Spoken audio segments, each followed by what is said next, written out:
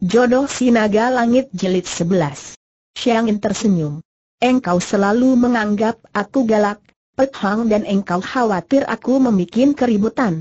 Baiklah, kalau bukan engkau yang mengajukan usul dan menggantikan aku menyelidiki pangeran itu, pasti ku tolak.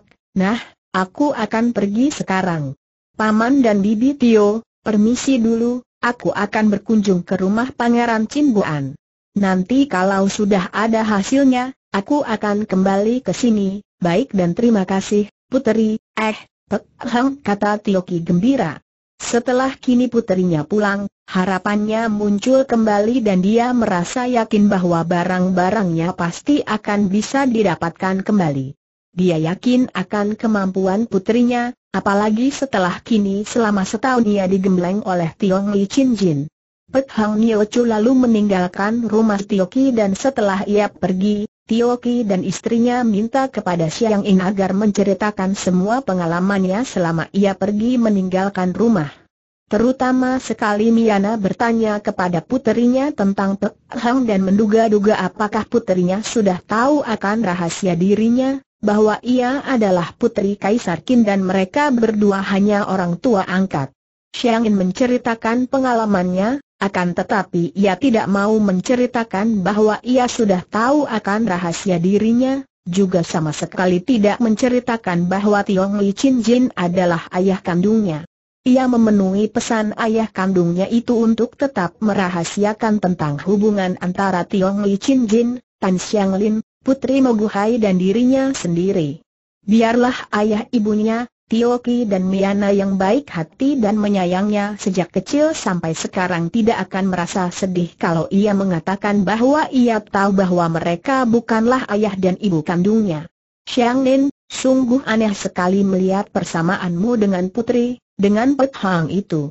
Benar-benar sukar bagiku untuk membedakannya, kecuali pakaian kalian yang jauh berbeda. Kalau kalian berdua pergi bersama, tentu orang-orang akan menyangka bahwa kalian adalah saudara kembar. Mendengar ucapan itu, Xiang In maklum bahwa ibunya ini sengaja hendak memancing untuk mengetahui apakah ia sudah tahu akan rahasia itu ataukah belum. Tentu saja ibunya ini, Miana tahu bahwa ia dan Pek Hang adalah saudara kembar karena Miana lah yang menolong ibu kandungnya, dengan membawa pergi ia, seorang di antara sepasang bayi kembar, untuk menyelamatkan sepasang bayi kembar dari ancaman dibunuh oleh kaisar.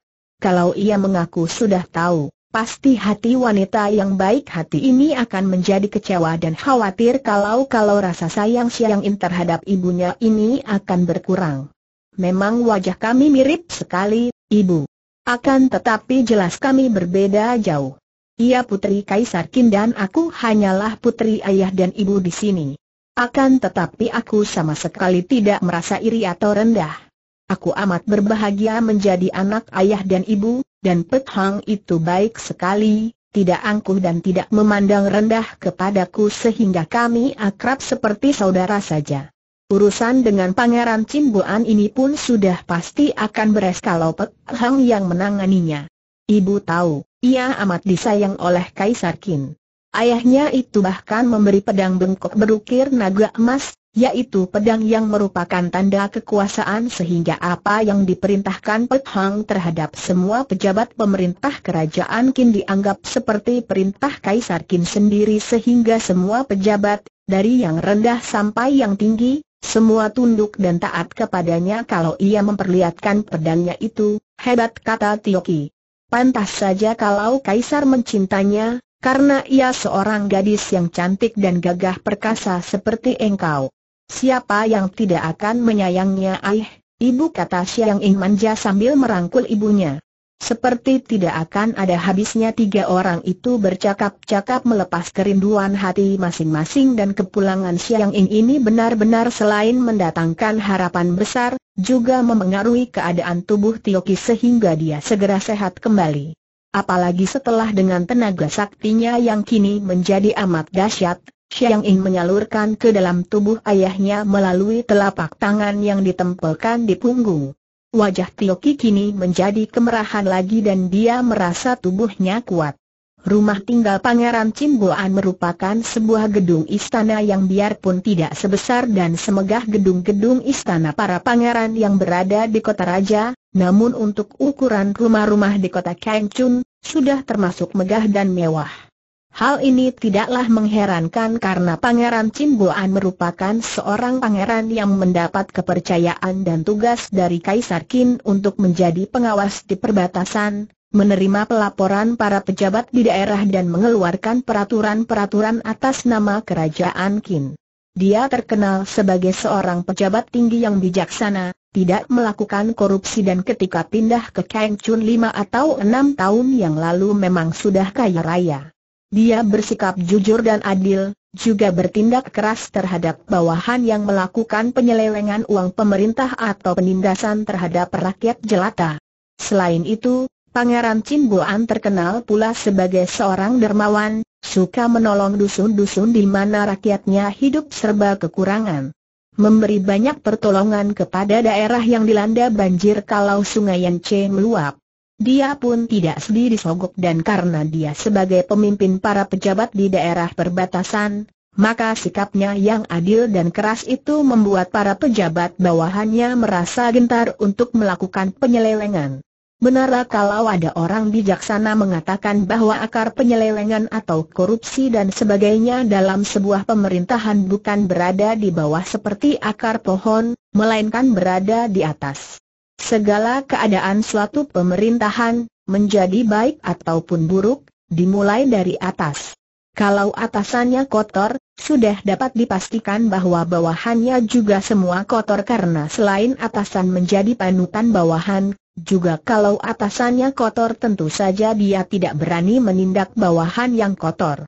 Dalam keadaan seperti itu semua pejabat akan menjadi kotor dan pemerintah akan menjadi lemah dan miskin karena digerogoti para pembesar. Yang makmur hanyalah para pejabatnya. Sebaliknya kalau atasannya bersih, bawahannya tidak berani menyeleweng, demikian pula bawahannya lagi dan bawahannya lagi seterusnya, Para pembesar itu dari yang besar sampai yang kecil, bekerja dengan setia, jujur dan bersih. Dalam keadaan seperti itu, dapat dipastikan bahwa pemerintahannya menjadi kuat, semua penghasilan dapat masuk dengan sempurna tidak ada yang bocor di jalan sehingga pemerintah menjadi kaya. Kalau pemerintah kaya, sudah pasti ia dapat menyejahterakan rakyat jelata. Keadilan akan terlaksana di mana-mana yang jahat akan dihukum berat, yang baik dan berjasa mendapat tempat yang layak. Alangkah akan bahagianya rakyat yang hidup di bawah pemerintahan yang seperti itu. Tidak ada penggerogotan uang pemerintah yang berasal dari rakyat, tidak ada penindasan, tidak ada sogok dan suap yang melahirkan ketidakadilan. Alangkah indahnya. Pangeran Chin Buan berusia sekitar 50 tahun, seperti semua bangsawan dan pembesar di zaman itu, Pangeran Chin Buan selain seorang istri juga mempunyai beberapa orang selir. Akan tetapi dia hanya mempunyai seorang anak laki-laki yang lahir dari istrinya. Pangeran itu bertubuh sedang, wajahnya tampan sikapnya halus dan dia ramah terhadap siapa saja. Mulutnya selalu tersenyum namun sikap yang lembut itu mengandung wibawa. Istrinya juga cantik dan lembut, seorang wanita bangsawan Kim yang terpelajar, berusia 40 tahun. Anak tunggal mereka itu bernama Chin Han. Dari nama ini saja sudah tampak betapa Pangeran Chin Boan menyesuaikan diri dengan pribumi yang dijajah kerajaan Qin. Nama marganya Chin dan putranya itu diberi nama Chin Han. Pemuda berusia 22 tahun ini tampan sekali, seperti ibunya. Seorang pemuda yang telah lulus ujian sastra dan mendapat ijazah Siu Chai, sastrawan. Tampan, terpelajar, lemah lembut, dan bijaksana seperti ayahnya sehingga siapa pun yang mengenalnya tentu merasa kagum dan suka. Akan tetapi sudah sejak dua tahun yang lalu ayah ibunya mendesak pemuda itu untuk menikah, dia selalu menolak. Baru setahun yang lalu ayahnya hendak menjodohkannya dengan Tio Siang In yang juga terkenal dengan julukan Ang Hwe Asian Li, Chin Hon tidak menolak. Dia pernah melihat gadis itu dan diam-diam mengaguminya. Akan tetapi, sekali ini dia yang ditolak. Pinangan itu tidak diterima oleh Tioki dengan alasan bahwa puterinya belum mau dijodohkan. Tentu saja Pangeran Chin Buan dan istrinya kecewa sekali. Akan tetapi Chin Hon yang bijaksana dapat memaklumi penolakan Xiang En. Gadis itu sama sekali tidak mengenalnya, bahkan melihatnya pun belum pernah. Bagi seorang gadis pendekar seperti itu, tentu saja tidak mau dijodohkan secara tabrakan begitu saja. Pemuda ini memaklumi penolakan Tio Siang En. Akan tetapi sejak penolakan itu, sudah setahun lebih, dia selalu menolak kalau orang tuanya hendak menjodohkannya. Bahkan, tidak seperti pemuda bangsawan lainnya, dia pun menolak ketika hendak dicarikan selir. Pada pagi hari di waktu matahari telah naik semakin tinggi, Pangeran Chin Buan duduk di ruangan dalam bersama istri dan putranya. Ayah, Aku mendengar bahwa Paman Tioki beberapa hari yang lalu dirampok penjahat habis-habisan, bahkan dia terluka dan dua orang pengawalnya tewas. Bukankah ayah ada menitipkan kiriman barang ke kota raja kepada Paman Tioki benar, Hanji, anak Han, aku pun sudah mendapat laporan dari utusan Tioki. Barang-barang kita ikut rampas penjahat, jawab Pangeran Chin Buan. Hem, Padahal barang-barang itu amat berharga dan penting yang dikirim ke kota raja untuk nenekmu dan para pamanmu. Sekarang hilang. Tioki itu harus bertanggung jawab kata Nyonya Cirin Swot, marah-marah. Jangan begitu, kejadian itu kan merupakan kecelakaan. Tioki sendiri sudah habis-habisan, bahkan terluka. Jangan kita menambahkan penderitaannya dengan tergesa-gesa menuntut barang-barang kita yang hilang agar dipertanggungjawabkan, salahnya sendiri. Dulu menolak pinangan kita, sekarang barang kita yang berharga mahal dibikin hilang. Enak dia dan rugi kita kalau didiamkan saja. Agaknya istri pangeran ini masih merasa kecewa, penasaran dan marah karena pinangannya setahun yang lalu ditolak oleh keluarga Tioki. Ibu, kiranya tidak perlu lagi membicarakan tentang pinangan itu. Yang penting sekarang, bagaimana caranya untuk membantu Paman Tiar mengatasi keadaannya yang terluka dan habis-habisan itu, hem, mengapa kita jadi ikut repot? Bukankah putri mereka yang cantik seperti Dewi, bahkan julukannya juga Ang Hwe Asian Li, Dewi Bunga Merah, adalah seorang pendekar wanita yang amat lihai? Biarlah gadis itu yang merampas kembali harta yang telah dirampok penjahat kata Nyonya Chin yang masih marah. Sebelum suami dan anaknya menjawab, daun pintu ruangan itu diketuk orang.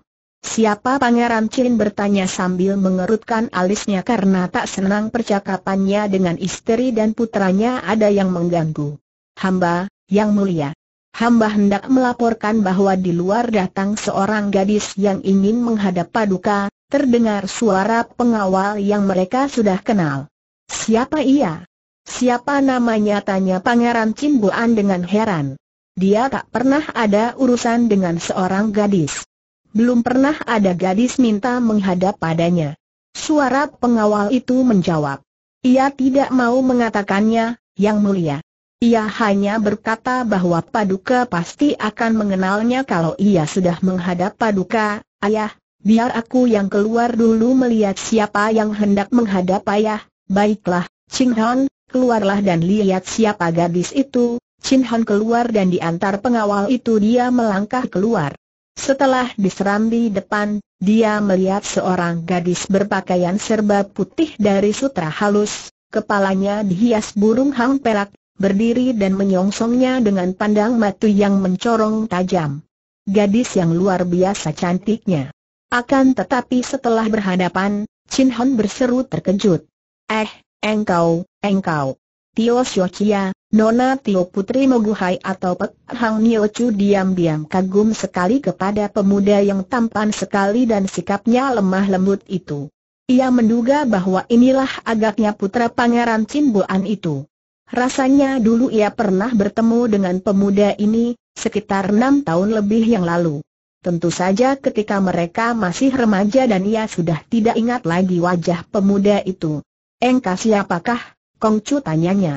Aku bernama Chin Hon, putra Pangeran Chin Boan, Ucapan pemuda itu seolah mengingatkan dan dia menatap tajam wajah yang jelita itu.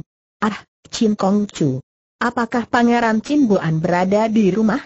Aku ingin bertemu dengannya, mari, silakan, Tio Xiaoxia. Silakan menunggu di ruangan tamu, aku akan memanggil ayah ke sini. Mereka memasuki ruangan tamu dan Pek Hang lalu duduk di situ menunggu sedangkan Chin Hon masuk ke ruangan dalam menemui ayah ibunya. Ayah, Gadis itu adalah Nona Tio Siang In kata pemuda itu yang masih merasa tegang hatinya bertemu dengan gadis yang pernah menundukkan hatinya itu. Pangeran Chin Boan menaikkan alisnya dengan heran dan istrinya mengerutkan alis dan berkata, Hem, mari kita temui suami istri dan putra mereka itu lalu keluar dari ruangan dalam, memasuki ruangan tamu. Pek Hang segera bangkit berdiri dan ia berhadapan dengan mereka bertiga. Nona Tiok kata Pangeran Chin Boan dan memandang penuh selidik. Dia merasa kagum akan kecantikan gadis itu. Pantas puteranya tergila-gila, pikirnya. Engkau yang bernama Tio Siang In tiba-tiba Nyonya Chin bertanya, nada suaranya ketus. Dulu engkau menolak pinangan kami. Sekarang datang berkunjung ada keperluan apakah Pek Hang tersenyum melihat Pangeran Chin Boan dan Chin Hon memandang Nyonya Chin dengan alis berkerut tanda tidak senang mendengar ucapan yang ketus itu. Akan tetapi ia pun tidak merasa marah mendengar teguran Nyonya itu karena ia maklum betapa kecewanya seorang ibu mendengar pinangan putranya ditolak. Kalian bertiga keliru. Aku bukan Tio Siang In, katanya sambil tersenyum. Tiga orang itu terbelalak. Harap Siocia, Nona, tidak main-main. Aku mengenalmu dengan baik dan jelas bahwa engkau adalah Nona Tio Siang In kata Chin Hon sambil tersenyum pula, mengira gadis itu main-main. Aku tidak main-main. Memang aku mirip Tio Siang In, akan tetapi aku bukan ia. Paman Pangeran, apakah Paman sudah lupa kepadaku Pangeran Chin Boan memandang penuh perhatian. Siapakah engkau sesungguhnya? Kalau engkau bukan Tio Ing aku sering bertemu paman di kota raja sekitar enam tahun yang lalu, enam tahun yang lalu di kota raja? Ah, aku tidak ingat, Pek Hang Nio Chu lalu mengeluarkan pedang bengkok berukir naga emas dari pinggangnya dan memperlihatkannya kepada pangeran itu. Paman tentu mengenal ini, bukan melihat pedang bengkok tanda kekuasaan itu, sepasang mata pangeran itu terbelalak. Dan apakah paman tidak mengenal hiasan rambutku ini ahaha, engkau? Putri Moguhai yang dikenal sebagai Pek Hang Nio tersenyum dan menyimpan kembali pedangnya. Nah, paman mengerti sekarang bahwa aku bukan Tio Siang In, ah, maafkan kami, kiranya keponakanku yang amat terkenal yang datang berkunjung. Selamat datang, Ananda Moguhai.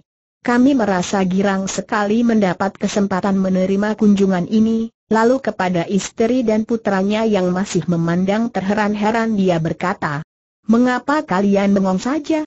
Ini adalah keponakanku sendiri, Putri Sri Baginda Kaisar yang bernama Putri Moguhai yang akhir-akhir ini terkenal sebagai Pek Hang Niochu, pemilik pedang pusaka tanda kekuasaan tertinggi mewakili Sri Baginda Nyonya Chin Buan seketika mengubah sikapnya, ia bersikap hormat dan ramah sekali. Air, harap memaafkan kami yang tidak mengenalmu, Chin Hon masih terpesona. Kiranya gadis yang wajahnya persis Tio Siang Ing ini adalah putri kaisar. Ah, Nona putri, harap maafkan aku, katanya gagap. Pek Hang tersenyum kepada pemuda itu. Kita adalah saudara misan, mengapa masih memakai sebutan sungkan seperti itu? Engkau bernama Chin Hon, bukan?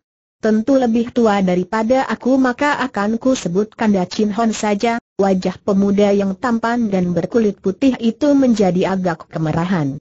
Baiklah, Adinda Moguhai, dan terima kasih atas keramahan sikapmu, aku akan menyuruh menyiapkan minuman, tidak usah, Bibi. Aku datang untuk membicarakan suatu hal penting, ada urusan apakah, Moguhai? Persamaanmu dengan Tio Siang In sungguh membuat kami terkejut dan heran, memang benar, Paman Pangeran. Tio Siang In adalah saudara seperguruanku yang akrab dengan aku. Kedatanganku ini pun atas namanya untuk membicarakan tentang peristiwa perampokan atas diri Paman Tioki, ayah Siang In, ya, Kami juga sudah mendengar akan peristiwa yang menyedihkan itu. Kabarnya Tioki terluka parah. Benarkah itu benar, akan tetapi keadaannya sudah tidak berbahaya lagi, Paman Pangeran. Dua orang Piao Su yang membantunya tewas dan banyak yang terluka. Semua harta benda yang dikawal Paman Tioki dirampas perampok, kami sudah mendengar dan mendapat pelaporan karena titipan barang kami juga ikut dilarikan perampok, Banyakkah barang yang paman titipkan itu hem? Cukup banyak dan berharga karena kiriman kami itu kami tujukan kepada ibu kami dan adik-adik kami di kota raja, tentu paman pangeran akan menuntut kepada paman Tioki agar mengganti semua kehilangan itu, bukan ah, sama sekali tidak, Moguhai. Tioki mendapatkan kecelakaan yang membuat harta bendanya habis dan dia sendiri terluka kehilangan harta yang kami titipkan itu adalah karena kecelakaan, itu benar, Adinda, Paman Tioki sedang menderita, bagaimana kami tega untuk menambahi penderitaannya? Kami malah kasihan sekali mendengar akan peristiwa itu, Mogu Hayato kita sebut saja Pet Hang, memandang tiga orang itu bergantian. Wajah Pangeran Chin dan wajah Chin Hon tampak wajar membayangkan bahwa ucapan mereka tadi sejujurnya. Akan tetapi ia melihat betapa wajah Nyonya Chin yang cantik itu agak muram dan sepasang alisnya berkerut. Paman Pangeran, aku mendengar bahwa setahun lebih yang lalu, Paman mengajukan pinangan kepada keluarga Paman Tioki, untuk menjodohkan Kanda Chin Hon ini dengan Tio Siang In, benarkah itu ya? Benar, dan pinangan itu ditolak Pangeran Chin Boan menghela napas panjang. Ya, ditolak karena Nona Tio Siang Ing belum mau terikat perjodohan. Kami dapat menerima alasan itu karena kami tahu bahwa gadis itu adalah seorang pendekar wanita yang tinggi ilmunya dan tentu saja soal perjodohan tidak dapat dipaksakan kepadanya. Hem, tentu paman sekeluarga menjadi kecewa dan penasaran, Bukan tentu saja kami kecewa, akan tetapi penasaran. Tidak. Mengapa mesti penasaran? Pinangan hanya mempunyai dua keputusan, diterima atau ditolak. Apakah keluarga paman tidak merasa terhina oleh penolakan pinangan itu dan mendendam sakit hati Puteri Moguhai? Mengapa engkau bertanya seperti itu? Kami bukan orang-orang sepicik itu kata Pangeran Cimbuan dengan suara mengandung kemarahan. Ayah, Adinda Moguhai mengajukan pertanyaan itu pasti ada sesuatu yang dimaksudkan dan dikehendaki. Dinda Moguhai, harap engkau suka berkata terus terang saja kepada kami. Sebetulnya ada persoalan apakah pada keluarga kami yang sedang kau selidiki Pek Hang memandang kakak misalnya yang tampan itu sambil tersenyum. Pemuda ini cerdik juga, pikirnya kagum. Begini, Paman, Bibi, dan Kanda. Sesungguhnya, keluarga Paman Tioki mendengar berita yang tidak baik, yang membayangkan seolah-olah urusan penolakan pinangan itu ada hubungannya dengan terjadinya perampokan terhadap Paman Tioki itu, Dinda Moguhai. Apakah engkau hendak mengatakan bahwa engkau menyangka kami yang mendalangi perampokan itu karena kami hendak membalas dendam atas ditolaknya pinangan kami itu? Tanya Chin Hon penasaran, walaupun suaranya masih lembut. Pet Hang tersenyum lebar. Tenang, Kanda. Itu bukan persangkaanku. Justru aku datang ini untuk menyelidiki tentang persangkaan itu. Sekarang, harap Paman Pangeran suka menjawab sejujurnya. Apakah Paman mengenal seorang bernama BHL yang yang berjuluk TWA2, si golok besar BHL yang sepasang alis Pangeran itu berkerut dan sinar matanya membayangkan kemarahan? Tentu saja kami mengenalnya. Dahulu, dia menjadi seorang di antara para pengawal kami di sini. Akan tetapi kami telah menghentikan dan mengusirnya mengusirnya? Akan tetapi mengapa, Paman?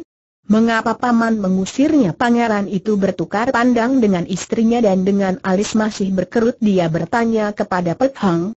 Hem, apakah pertanyaan itu perlu dijawab perlu sekali, Paman? Untuk melengkapi penyelidikanku, Harap Paman suka menjawab pertanyaan itu sejujurnya. Ini demi kebaikan keluarga Paman sendiri, Pangeran Chin Buan memandang istrinya. Bagaimana? Apakah kita akan memberitahu kepada Puteri Moguh Ai istrinya termangu sejenak, lalu mengangguk. Boleh saja kalau itu demi kebaikan keluarga kita, begini, Moguhai.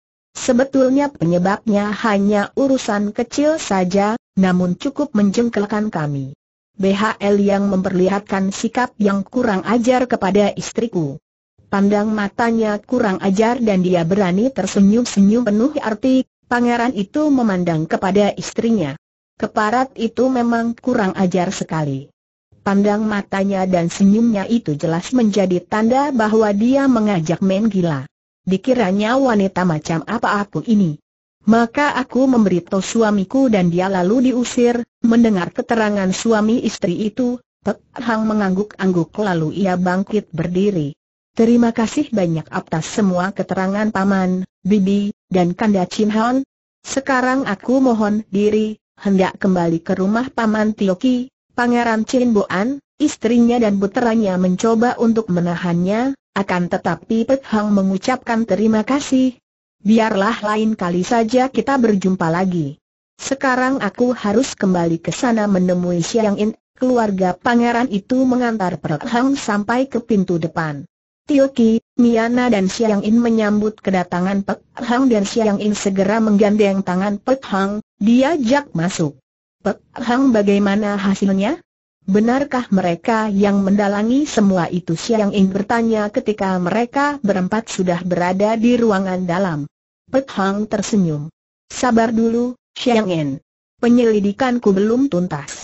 Sekarang, aku harap Paman Tioki Dun Bibi Miana suka berterus terang kepadaku karena jawaban yang jujur dari Paman berdua mungkin akan dapat membawa kita kepada dalam perampokan ini. Air, Pek Hang, Kenapa malah kami yang harus menjawab dengan jujur tanya Miana heran. Ya, Pek Hang. Seolah kami yang akan kaselidiki kata pula Tioki penasaran. Tenanglah, Paman dan Bibi. Percayalah padaku dan harap suka jawab sejujurnya pertanyaanku ini. Paman, pengawalmu yang bernama BHL yang itu, apakah pekerjaannya di sini baik-baik saja Tioki memandang heran dan mengangguk. Ya, pekerjaannya cukup baik. Beberapa kali dia mengawal kiriman barang dan tidak pernah gagal. Juga dia memiliki ilmu silat yang cukup tangguh. Julukannya sebagai Tewe Acu agaknya cukup dikenal oleh golongan sesat sehingga pengawalannya tidak pernah diganggu. Apakah dia tidak pernah melakukan sesuatu yang tercela kurasa tidak, dan paman tidak pernah memarahinya karena suatu tindakan yang tercela Tioki menggeleng kepala. Seingatku tidak. Akan tetapi apa maksudmu dengan semua pertanyaan itu nanti ku jelaskan, Paman. Sekarang aku ingin mengajukan pertanyaan kepada Bibi Miana dan ku harap Bibi akan menjawab sejujurnya dan jangan menyembunyikan sesuatu. Miana mengerutkan alisnya dan wajahnya yang masih cantik itu tampak tegang. Tanyalah, Pek Hang begini, Bibi. Apakah BHL yang itu pernah berbuat atau bersikap yang tidak wajar terhadap Bibi Miana membelalakan matanya? Tidak wajar? Apa, apa maksudmu hem? Misalnya dia melakukan sesuatu atau bersikap yang tidak sopan atau kurang ajar terhadap Bibi, Miana menundukkan mukanya yang berubah merah dan sejenak ia diam saja. Ibu, jawablah pertanyaan Pek Hang sejujurnya. Percayalah, ia bermaksud baik, Ibu, Miana kembali memandang kepada suaminya dan Tioki yang kini menduga tentu ada apa-apa yang hendak dikatakan istrinya, ia berkata, benar, Miana. Ceritakan saja apa yang telah terjadi dengan sejujurnya, setelah Miana menghela napas panjang beberapa kali, ia berkata, memang pernah beberapa kali dia bersikap kurang ajar kepadaku, merayuku. Mula-mula aku tidak peduli, akan tetapi ketika dia semakin berani, malah pernah memegang tanganku, aku menjadi marah dan memaki-makinya, keparat bentak Siangen. Ku hajar jahanam itu nanti dulu Siangen. Bersabarlah, kata Pet Hang, lalu ia menoleh kepada Miana yang kini menundukkan mukanya. Bibi, mengapa Bibi tidak melaporkan kekurang ajaran itu kepada Paman Tioki Miana memandang suaminya yang juga memandang kepadanya dengan alis berkerut. Ketika peristiwa itu terjadi, engkau belum pulang siangen. Kalau ada engkau, pasti langsung ku beritahukan kepadamu. Akan tetapi engkau tidak ada dan aku takut memberitahukan hal itu kepada ayahmu. BHL yang itu orangnya menyeramkan dan kabarnya dialihai sekali. Aku takut kalau ku beritahukan ayahmu, mereka berkelahi dan ayahmu akan celaka di tangannya, terima kasih, Bibi. Sekarang jelaslah sudah. Paman dan Bibi, dan Siang In, ketahuilah. Aku telah melakukan penyelidikan kepada Paman Pangeran Cimbuan sekeluarga, akan tetapi tidak ada tanda-tandanya mereka mendalangi perampokan itu. Pangeran Cimbuan terlalu baik hati untuk melakukan kekejaman itu. Bahkan dia tidak ingin menuntut Paman Tio untuk membayar barang-barangnya yang dirampok. Akan tetapi aku mendapatkan keterangan penting. Ketika BHL yang menjadi pengawal mereka, Jahanam itu pun pernah bersikap kurang ajar kepada istri paman pangeran sehingga dia dipecat dan diusir. Dan sekarang dia pula yang memberi kabar yang mendalangi perampokan adalah Pangeran Cimbuan. Jelas bahwa dia hendak membalas dendam kepada Pangeran Cimbuan karena pernah memecat dan mengusirnya, dan juga membalas dendam kepada keluarga ini karena Bibi Miana pernah memakinya dan menolak rayuannya. Jadi, mudah diduga siapa kira-kira yang mendalangi perampokan ini, bukan Siang Ing bangkit berdiri. Jahanam, ku hajar dia Pet Hang juga bangkit dan memegang lengan Siang In. Siang In, tenanglah, jangan menuruti nafsu amarah. Kalau engkau emosi lalu membunuhnya, akan sukarlah bagi kita untuk menemukan kembali barang-barang yang dirampok itu. Mari kita cari dia dan kita paksa dia mengakui perbuatannya dan memberitahu di mana adanya barang-barang rampokan itu. Paman, di manakah kami dapat menemukan Jahanam itu rumahnya tak jauh dari sini. Dia tidak mau tinggal di sini dan menyewa rumah sendiri, rumah kecil di sebelah kiri dari rumah ini. Biar pelayan mengantar kalian ke sana, dua orang gadis itu lalu pergi menuju rumah sewaan BHL yang diantarkan seorang pelayan. Setelah tiba di luar rumah itu, Xiang In menyuruh pelayan itu pulang. Lalu mereka berdua menghampiri pintu depan rumah itu dan mengetuknya.